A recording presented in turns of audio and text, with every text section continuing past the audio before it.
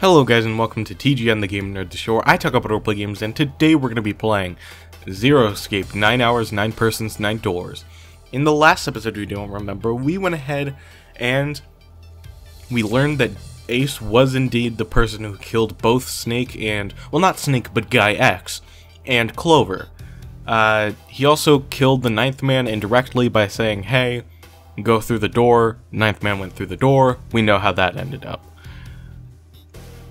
And at the moment, he intends to probably also kill Lotus as well, because he took her with the pistol through the number 9 door, and now we're kind of panicking because what do we do? We need 9 people to get through here. Or not 9 people, we need, you know, a digital root of 9 to get through here. So we're kind of panicking right now. They retreated to the center of the room and began to talk. What do we do now? Yeah, what should we do? Well, the big door's still vacant, but... The two of us can't do anything with it. Yeah.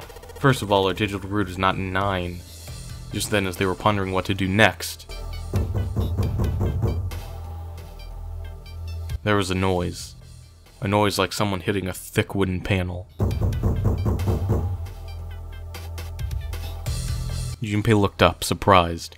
Seven followed suit, his eyes jumping around the room looking for the source of the sound. It wasn't long before they found the altar. Or more precisely, what was on it. The coffin. Yeah. Let's open it. How? By force! I don't think that's gonna happen. Well, you never know till you try, right? The only necessity for success is the willingness to suffer a thousand failures. Who said that? I forget. Anyway, we gotta try. Junpei and Seven leapt at the coffin. They grabbed hold of what purchase they could find and pulled. Ugh. Ugh. Damn it! See, didn't I tell you? If you could just pull it open, why would it have something like that? Seven pointed at the keypad on the side of the coffin. Right, so unless I put it the right passcode, I'm not gonna It's not gonna open. The noise hadn't stopped. In fact, as it continued, it had only gotten louder and more forceful. What were they supposed to do, Junpei wondered. Was there some sort of clue somewhere?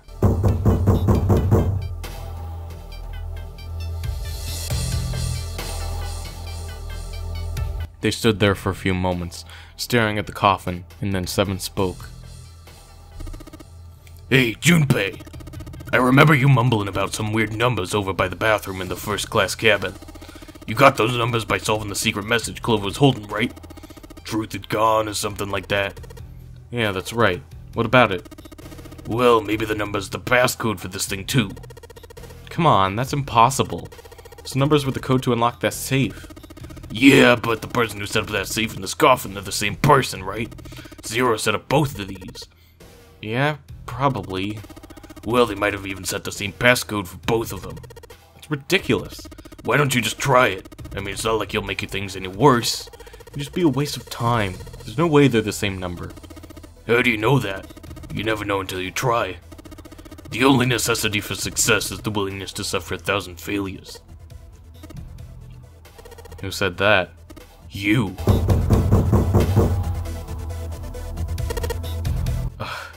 Fine. He knelt down in front of the keypad and looked at it. Perhaps because he'd repeated them so many times before, the numbers came easily to Junpei's mind. 14383421. Quickly, he typed them in. 1438341. He checked that he'd entered the right numbers, took a deep breath, and pressed the E button. It only took a moment. You've got to be kidding me! There was a click. And with a heavy clunk, the lid of the coffin slid off onto the floor. Someone sat up from inside. Snake! You. Why? Ah, those voices. Junpei and Seven, unless I'm mistaken. Where are the others? Are they elsewhere? Of course, there's no reason Snake would have known anything about where anyone else would be. Junpei and Seven looked at one another. There was a great deal he needed to know, but...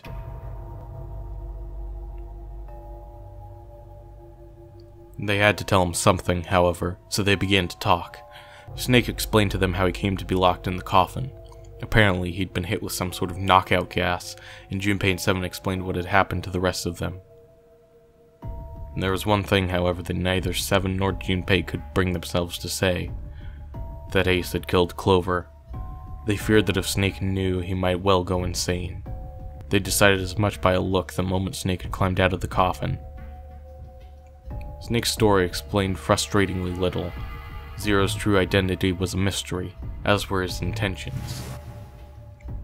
Why had Zero put X in Snake's clothes? If Zero had left a note for them to say the Nonary Game had been played nine years before, was there some connection? Junpei put the question to Snake. His answer was less than illuminating. Um, what are you talking about? I apologize, but I have no idea what you're saying. It seemed as though Snake was, perhaps, not being entirely honest, but that knowledge did Junpei Seven little good. No matter how many times they asked, he insisted that he knew nothing. It was becoming clear that Snake wouldn't give in, and every second they spent asking him was a second wasted. Their time limit was fast approaching. Snake's release from the coffin had changed nothing. He still needed to follow Ace as quickly as possible. However, they stood in silence, the overpowering atmosphere of the chapel almost stifling. Junpei, Seven, and Snake simply, simply stood, at a loss for words for what they should do next. What should we do now? He glanced over at Snake's wrist. Sure enough, he could see the two on the bracelet on Snake's wrist. The three of us can't make a digital root of nine. Yeah, we just get five. We're stuck here then. Oh! Hey, I just remembered something. Seven began patting his pockets, as if he were checking to see if any of them held anything. What? What is it? I, uh, I found something earlier. What did you find? This. He finally found the pocket he wanted, and his hand dove into it. Seven pulled out something round and metal. A bracelet. There was no mistaking the number glowing at them from the face like a cartoon eye. Zero. Zero's bracelet. What the hell? Are you saying that 7 has the number 0 bracelet? Y yeah. Where did you get that? Snake's question was innocent enough, but if he learned the truth, if he'd been able to see, he would have noticed 7 look away. Clover gave it to me. She did? Yeah. How did she come by it? Well, she found it, see? on the other side of door 1, A deck, in the captain's quarters. She asked me to hold on to it because it was too big and bulky for her to be lugging around. It was a lie, and Junpei knew it. I haven't actually looked at it yet. Didn't want to disturb the crime scene, you know. Basic stuff. Well, I did borrow one thing.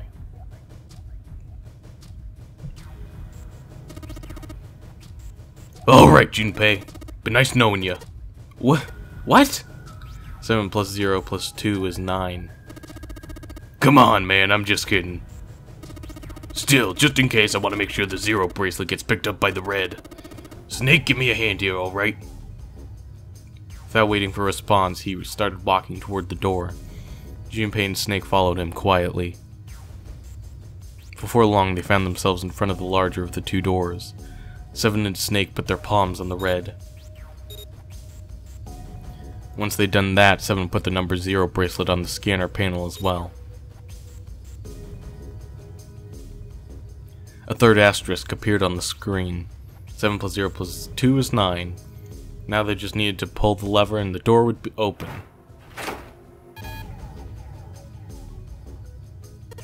Huh? Why isn't it opening? Um, well, the third asterisk lit up, so it must have registered the zero bracelet.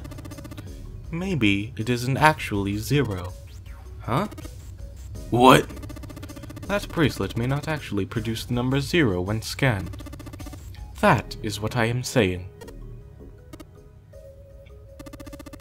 Why don't we try a few different combinations? Perhaps we can determine what number that bracelet actually contains. Junpei nodded. They decide to use the following combination. Junpei plus 7 plus the bracelet. Junpei plus 7 plus the mysterious bracelet. Junpei, Junpei plus 7 equals 5 plus 7 equals 12, 1 plus 2 equals 3. That combination worked, then the mysterious bracelet's number was 6. They scanned in their bracelets.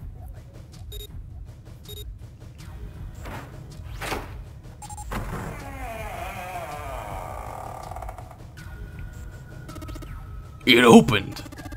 Yes, so it would seem. Seven clearly hadn't thought their experimentation would produce anything useful, and looked rather confused. Snake was, as usual, calm and smug.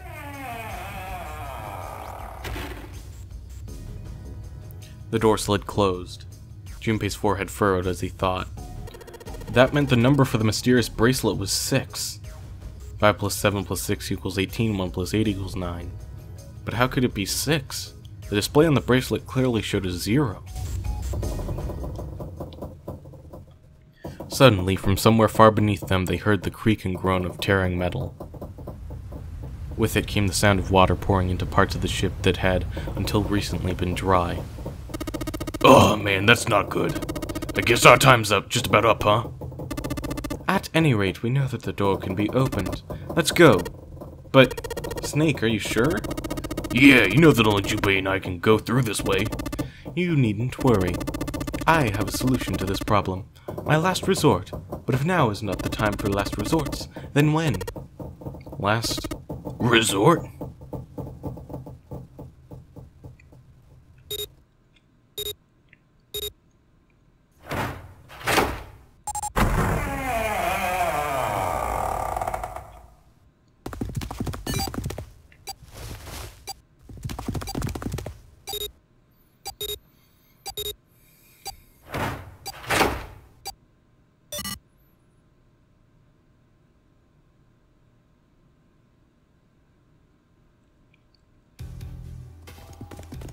Junpei 7 and Snake ran, full tilt down a long straight hallway.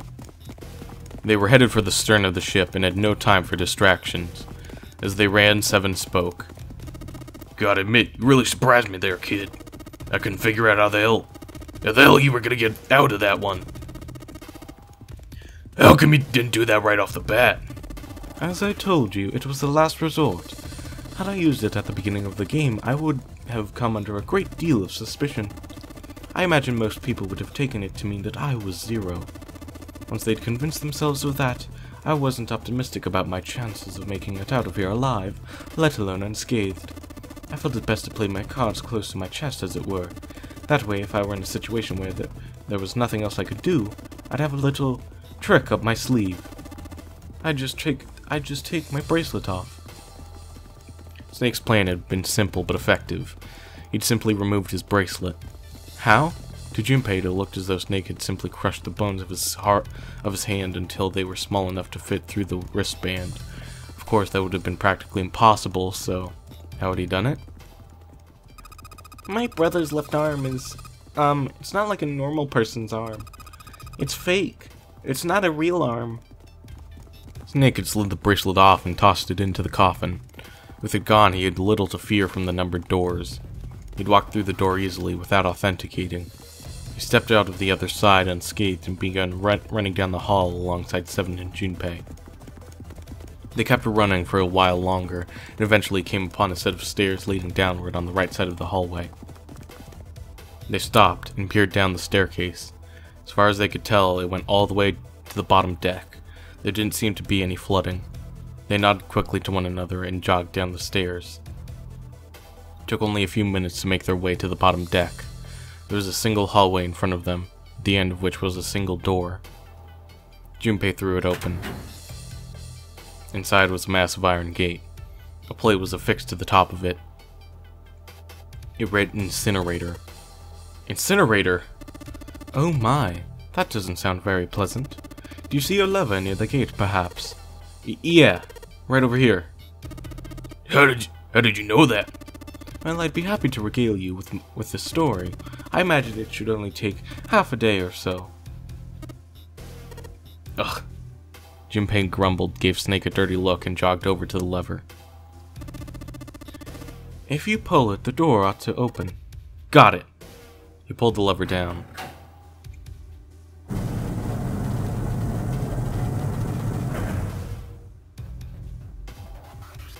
With the rumble of an ancient motor, the door opened. There was no need to hold back and no time to hesitate. They pushed their way inside. Standing in front of them were Ace and Lotus. Ace still held the revolver in his hand. It was still pressed hard against Lotus's temple. Small dark bruises began to form near the tip. Even from several yards away, Junpei could see that Lotus was shaking. She was terrified. But perhaps more interesting was what Junpei saw behind them. Nine. Another number nine door. But why? Why was there another one? The door stopped Junpei in his tracks. Simply shouldn't have been there. As his brain finally began to consider why, the whine of a warning klaxon filled the air, drowning out any thought. Warning. Warning. Emergency incineration command has been acknowledged. Automatic incineration will take place in nine minutes. Please evacuate the incinerator immediately. Oh my, how exciting. You've run quite a show here, Zero. A terrifying smile twisted Ace's face. What's the matter? Too frightened to understand? Here, let me explain. It's said that the incineration system is about to activate. In nine minutes, this room will be engulfed in flame. Hmm. Who are you? You don't recognize me? I'm hurt. It's me, Snake. Snake? Oh, yes, you are alive. I'm afraid your bizarre style had me confused. I'm quite glad to see that you're alive. Ace's voice didn't change. Snake ground his teeth. If you don't mind my asking, how did you get here? Snake, Junpei 7. The three of you couldn't have opened a door with a nine. Did you use Clover's bracelet, perhaps? What? 2 plus 5 plus 7 plus 4 equals 18. 1 plus 8 equals 9. Ah, well, your reaction suggests that you did not. Uh, hold on. Why did you think we'd have Clover's bracelet? Junpei felt his chest tighten.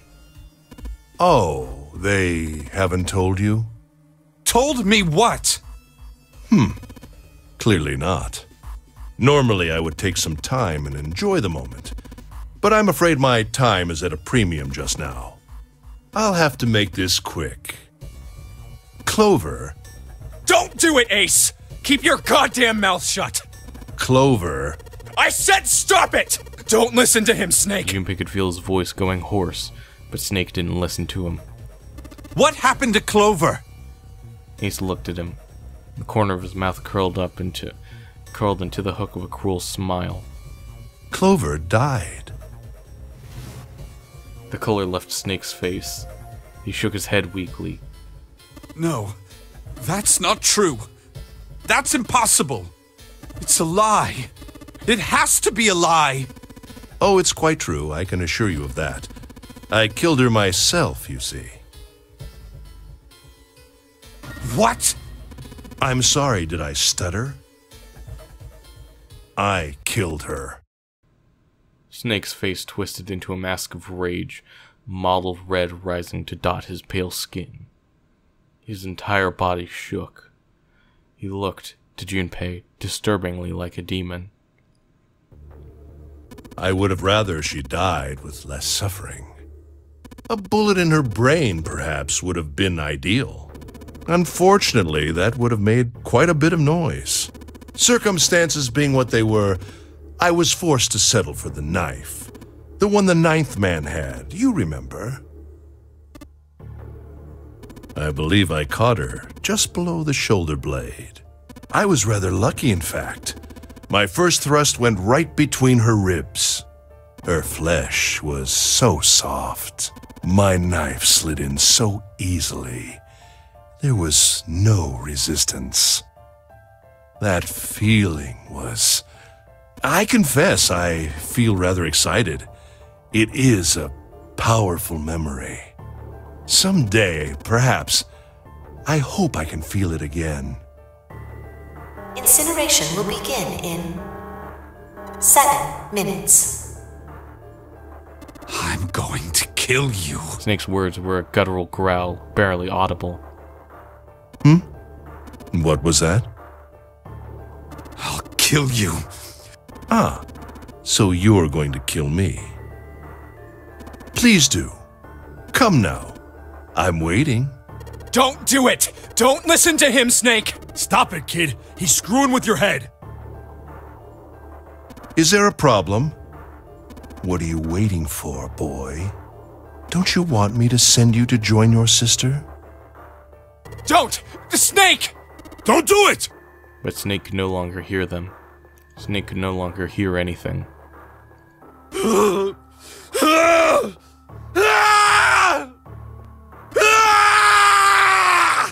Snake moved like a bolt of lightning. His scream echoed through the incineration chamber, full of rage and despair. Snake! Snake!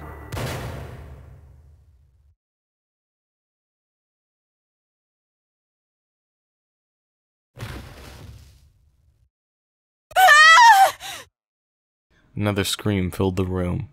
It was Lotus. She ran across the room toward Junpei, her eyes wide with terror. Snake's ill-fated attack had loosened Ace's grip on her and she'd made a run for it. She reached Seven and Junpei and ducked behind them. Junpei could feel her fingers on his arm, tight enough to be painful, keeping him between her and Ace. Incineration will begin in five minutes. Give me the woman. He raised his gun. I need her.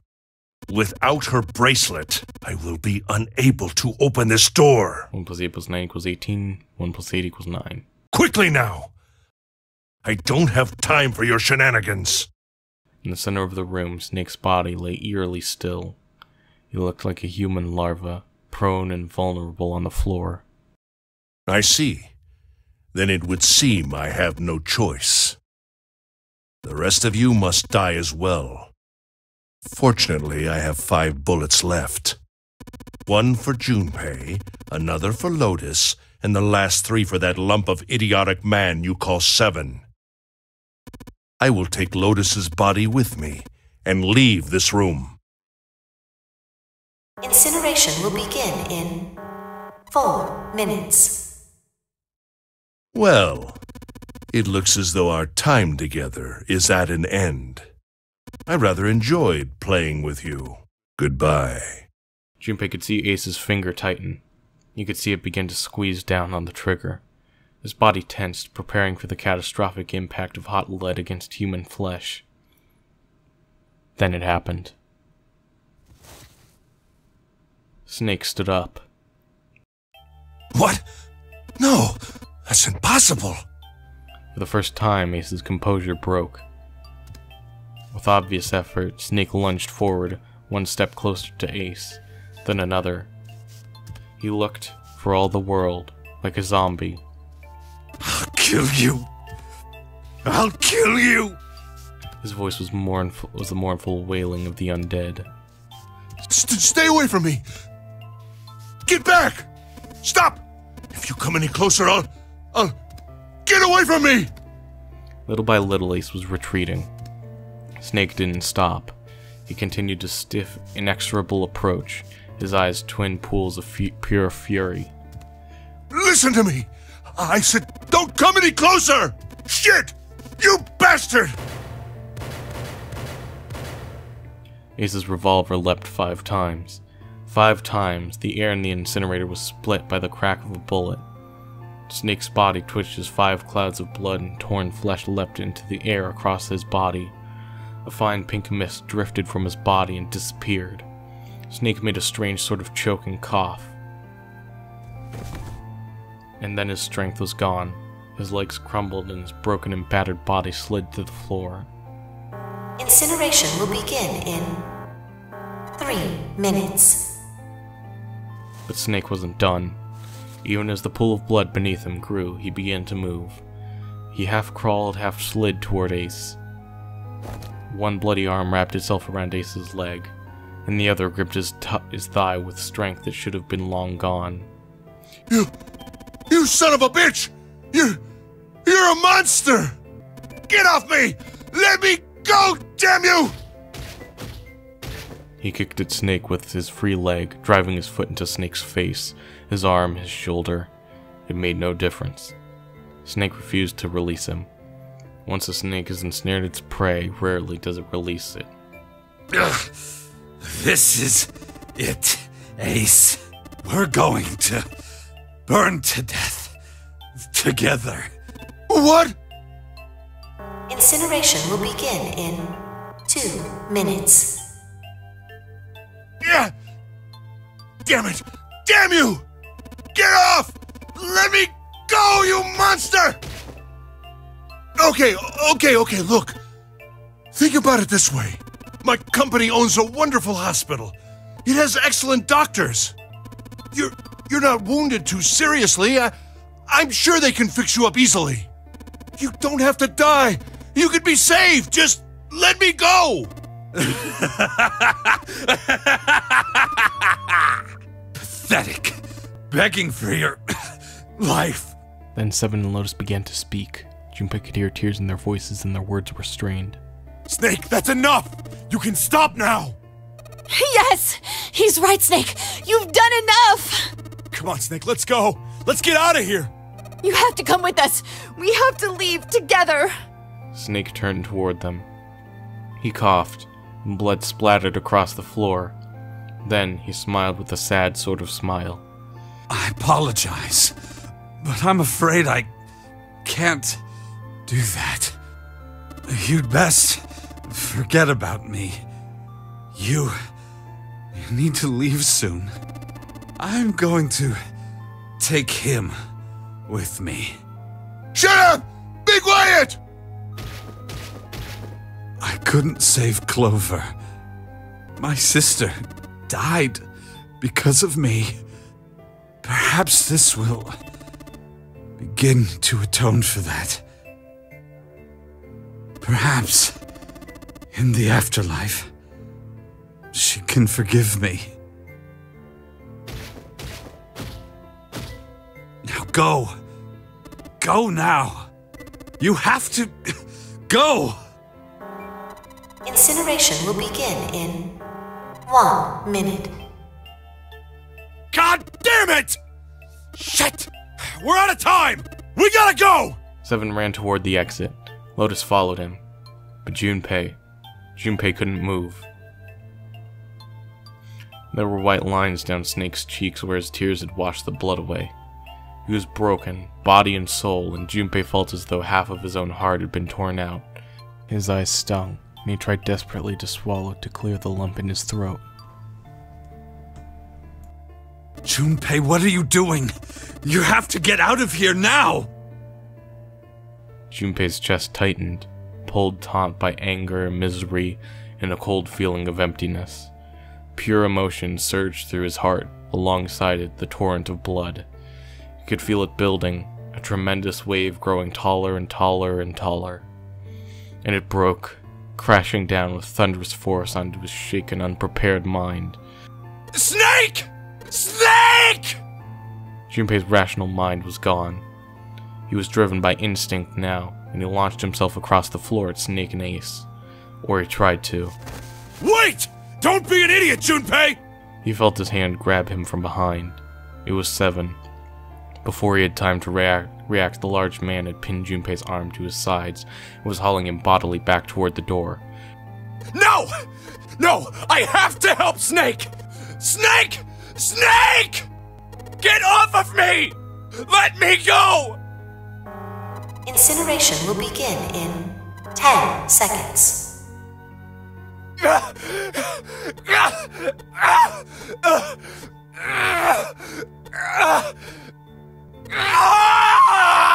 Seven, six, Damn it, I don't get a choice, kid! Don't blame me for this, alright?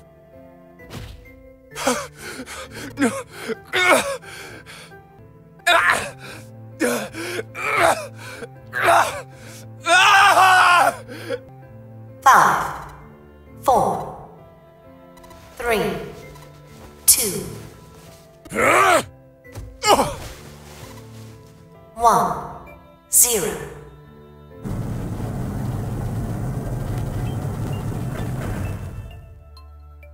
Gates 2 and 3 are locked down. Beginning incineration. Junpei felt Seven's fist bury itself deep in his stomach, and then his legs turned to mush. Seven scooped him up in the same motion and leapt through the door. It slammed shut behind them. Junpei struggled to shaky feet. He glanced over to see Lotus only a short distance away. Junpei ran to the door. There was a small window cut into it. Inside, he could see Ace and Snake. Shit! Damn you all! Why? Why? Why me? I don't deserve this! Answer me! Answer me, Zero! Why? Why? Zero! Zero!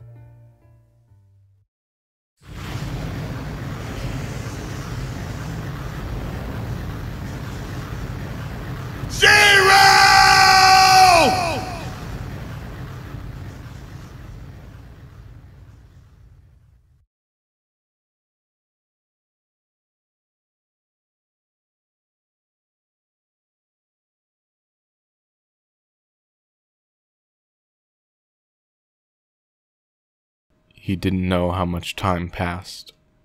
He didn't know how long he stood there in front of the incinerator. He looked to the side.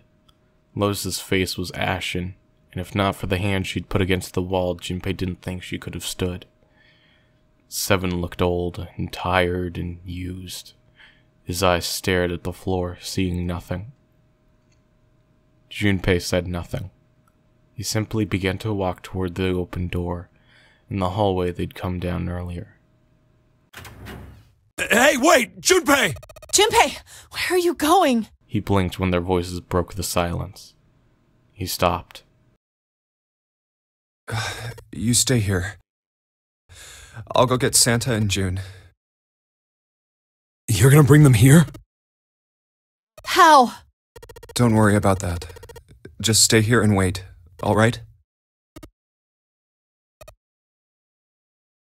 He began to walk again. He looked over his shoulder and watched Seven and Lotus grow smaller and smaller. They stared back, not moving. He wasn't sure if they could. He turned around again. He knew where he was going.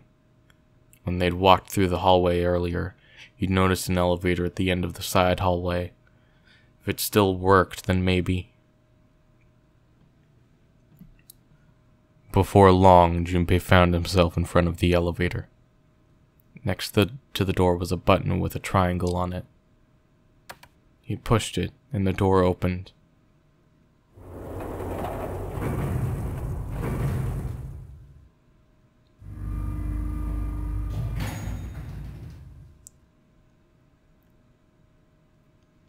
Junpei was in the large hospital room. June! Santa! He kept calling and walked to the center of the room.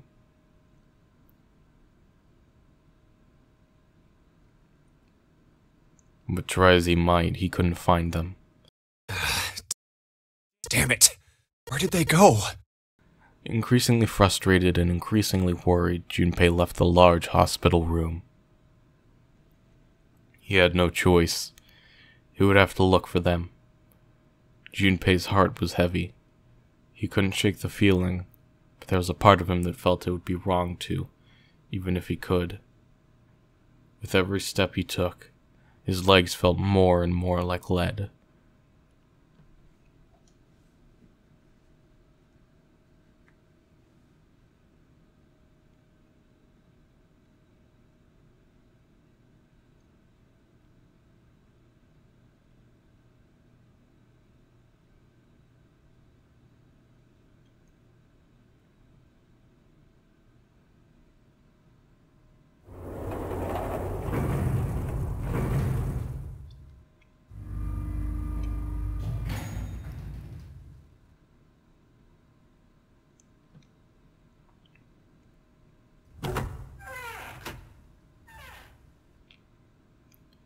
Sometime later, Junpei found himself at the chapel.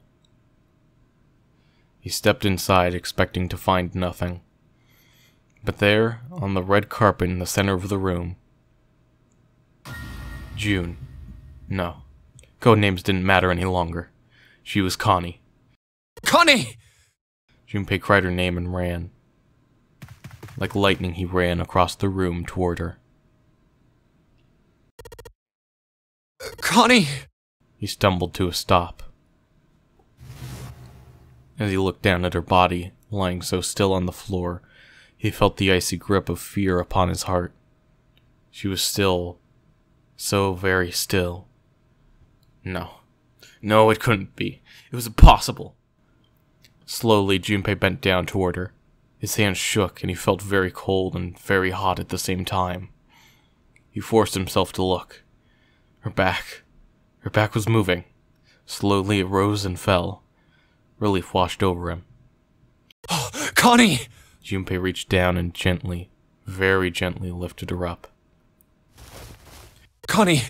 Kanny, are you alright? Jumpy? Her face was pale, and her lips were dry and cracked. Her eyes were blank and cloudy. They stared straight at Junpei but saw nothing. Trembling, Junpei wrapped his arms around her back. She was cold, very cold. Junpei tried to convince himself that it was only his imagination, but she felt as though she were fading away. He could feel her heart pounding frantically in his chest. Oh man. Kanny, what the hell happened to you? You. you feel. Junpei, I'm sorry. Her voice was very faint. I. I might not make it. No. No way. No way. I am going to let you die. I am going to save you. I promise. Thank you, Jumpy. Thank you so much uh, for everything. I was really happy to see you again, Jumpy. Give me that I was crap. You're gonna see me again lots more times. You've. You just gotta hang on, alright, Kanny?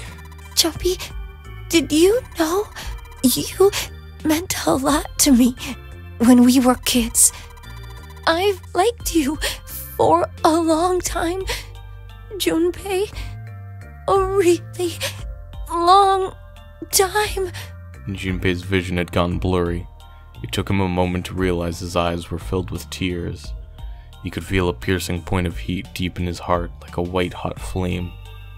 He looked down at Akane.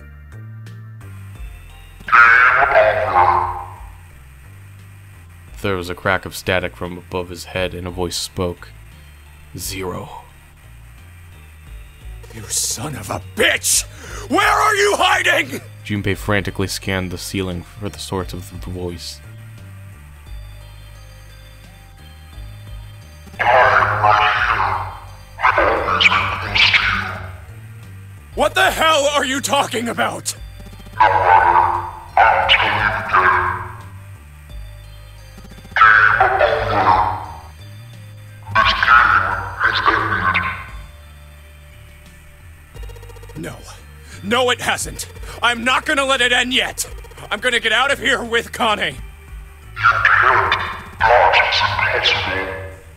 Why? Because you chose The wrong path? No help send anywhere. Not much. There was shot in the street. Now there is lots of march our gas for dinner. Shit.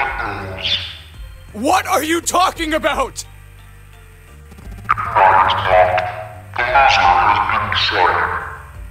I told you! I am not gonna lose! No, you misunderstood. You have lost. I have lost. What? Junpei didn't have time to ponder what that meant before. He heard a door slam shut behind him. He spun around. There was no one there. Was it Zero? Kanny, wait here. I'll be right back, I promise. She managed a single nod. Junpei laid her back down gently and leapt for the door.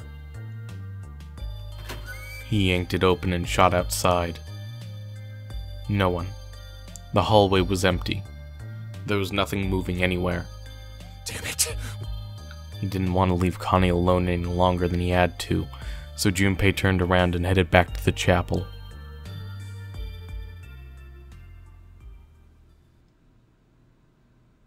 C- Kanny! She wasn't there. She wasn't anywhere. She'd been lying there on the floor just moments before. And now she was gone. Oh god. No. No. Where is she? Kanny. Kanny! Kanny! Kanny! His cry split the heavens themselves. He screamed until his voice gave out. And then he screamed some more. But there was nothing. No answer. His voice faded away, and all that remained was cold, unfeeling silence. That was when he noticed it. A strange smell, one he'd smelled before.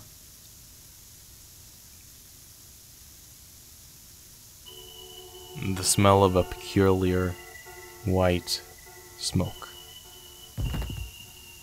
Nine seconds later, Junpei's mind winked out.